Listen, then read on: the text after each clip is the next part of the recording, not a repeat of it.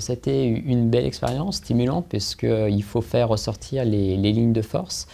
Et une image me vient à l'esprit, c'est un petit peu comme mettre un homme de la dimension de Napoléon dans un livre de ce format, c'est comme l'art du botelliste, hein, vous savez mettre un, voilà, faire un, bateau dans une bouteille en verre. C'est-à-dire qu'il faut être très attentif euh, à la fois euh, à la véracité, euh, manière un petit peu de, retracer cette vie, tout en faisant souffler les voiles de la grande histoire napoléonienne.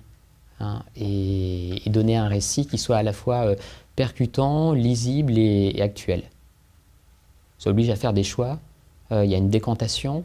Euh, mais finalement, euh, je crois que c'est vrai pour tous les auteurs de la période napoléonienne, euh, la question c'est pas tant pourquoi faire une biographie de Napoléon, mais c'est quand.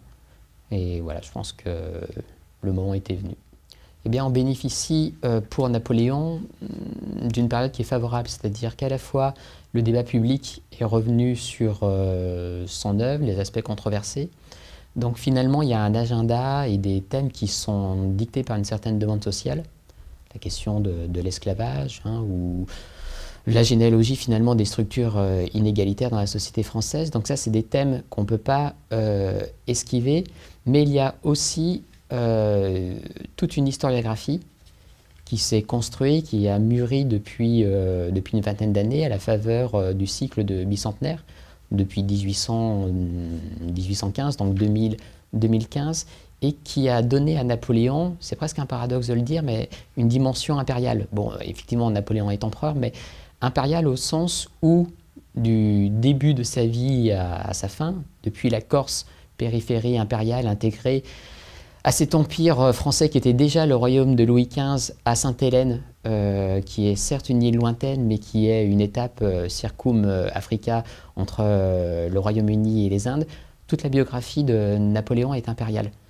Son œuvre est impériale, la guerre contre laquelle il s'est engagé contre le Royaume-Uni est impériale, et puis surtout la refonte de l'Europe, le rapport aux populations européennes est impérial. Novatrice, en tout cas, il a eu un effet inattendu, puisque il y a en 1969, c'était déjà un bicentenaire, mais celui de la naissance et non pas de la mort de Napoléon. Et ce bicentenaire euh, s'était fait sous euh, les auspices d'une histoire euh, sociale et presque structurale. De façon étonnante, 50 ans plus tard, en 2021, à l'occasion de la commémoration de la mort de Napoléon, on est revenu à la biographie. C'est assez étonnant et ça s'explique notamment par cette question de, l'esclavage hein, qui a pris, il faut le reconnaître, hein, tout l'espace public et qui a été posé en termes de responsabilité. Euh, ce qui a eu pour conséquence, mais vraiment inattendu, euh, bah, de revenir, d'interroger l'homme Napoléon, l'individu Napoléon, son entourage, et donc de rendre en quelque sorte hein, euh, sa raison d'être à la, à la biographie. Mais une biographie en 2021, elle peut aussi s'adosser en fait à un travail de fond qui a été effectué, euh, notamment qui peut s'appuyer sur euh, les ressources hein, formidables, presque inépuisables, qui a été la réédition complétée de la correspondance de Napoléon. Euh, et ça c'est formidable.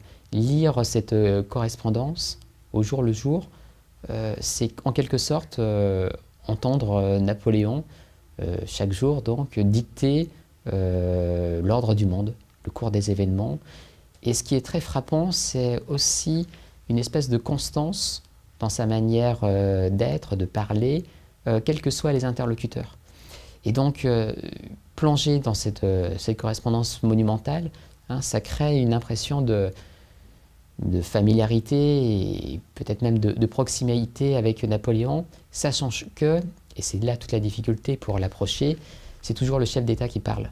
et c'est à ce côté un petit peu euh, troublant. on vit dans l'intimité d'un homme, mais qui, dans sa correspondance, reste l'empereur des Français.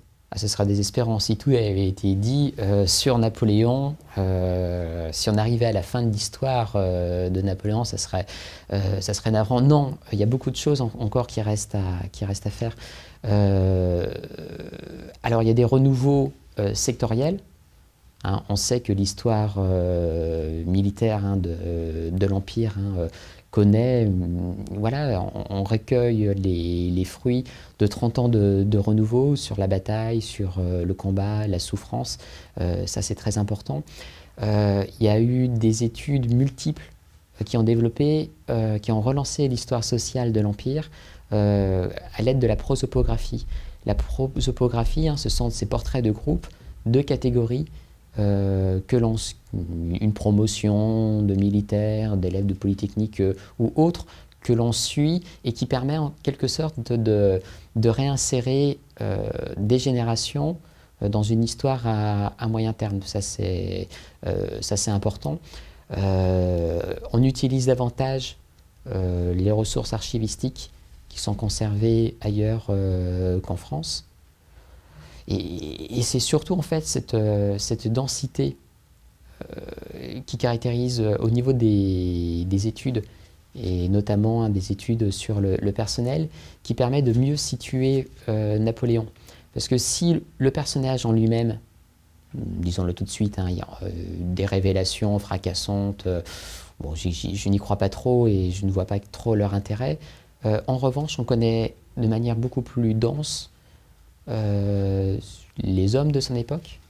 Et donc ça permet de mieux comprendre la manière dont Napoléon a été un formidable meneur d'hommes, dont il a su euh, composer avec les uns, euh, faire avec les autres, compter sur certains, puisque ce qui, fait la, ce qui explique la trajectoire et la réussite de Napoléon, c'est bien cette, bah, cette, intelligence un petit peu, cette capacité à, à, faire agir les hommes, à utiliser les ressources humaines de son temps en quelque sorte. Et, pour cela, on dispose, euh, voilà, au, fil des biographies, au fil des prosopographies, des monographies, euh, d'outils très importants pour comprendre hein, les, la façon dont pouvait agir Napoléon en fonction de, ce qu'il connaissait euh, de son environnement hum, humain immédiat.